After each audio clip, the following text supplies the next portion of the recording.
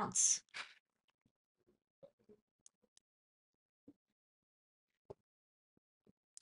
Okay, super top secret. What you working on here? Okay, so the the march of revisions continues.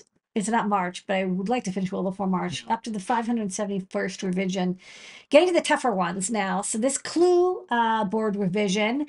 Um, love the clue board. Every single chip on here was unavailable for a year and a half. Yeah, what's the joke? The chips of Theseus. Like, there's boards that we have that everything's different, but it is the same board. Yeah. Um, so this one, you know, I couldn't get the NRF 52840 and then I couldn't get the the microphone, and I couldn't get the magnetometer, and then the six DOF got discontinued. Six DOF really did get discontinued, so that got swapped out.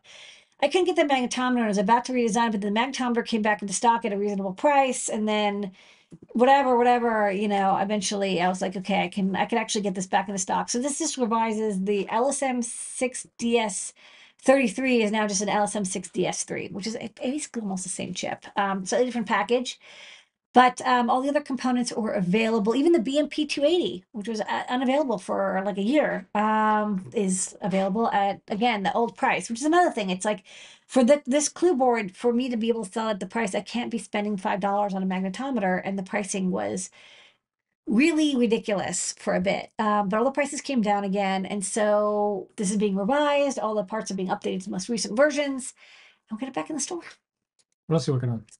Um, ditto with the Feather Sense. I know people really like the Feather Sense board, and believe me, I wanted to stock it for a while, but likewise, almost every sensor got discontinued. Actually, another thing is the APDS 9960, that got discontinued too.